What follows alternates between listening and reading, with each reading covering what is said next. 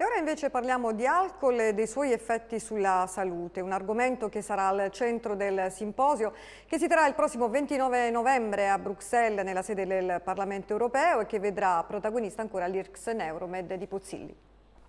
Sarà il consumo moderato di alcol l'argomento al centro del prossimo simposio che il 29 novembre nella sede del Parlamento europeo a Bruxelles vedrà ancora protagonista l'IRCS Neuromed di Pozzilli. Un argomento ancora oggetto di dibattito tra chi ne consiglia un uso moderato nell'ambito di uno stile di vita equilibrato e chi invece ne raccomanda la totale astensione.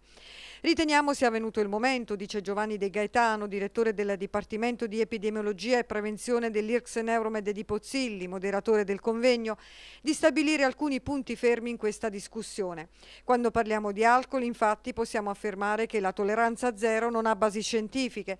Certo, sappiamo che il consumo eccessivo è sicuramente dannoso e lo ribadiremo con forza nel corso di questo simposio, ma le ricerche degli ultimi anni ci hanno mostrato come un consumo moderato nell'ambito di uno stile di vita sano possa avere effetti benefici come la riduzione del rischio di malattie cardiovascolari. Grazie al contributo di esperti di livello internazionale, il meeting di Bruxelles sarà l'occasione per riaffermare il concetto del bere responsabilmente con moderazione anche nel quadro della lotta contro gli abusi, un problema di particolare gravità nel mondo giovanile.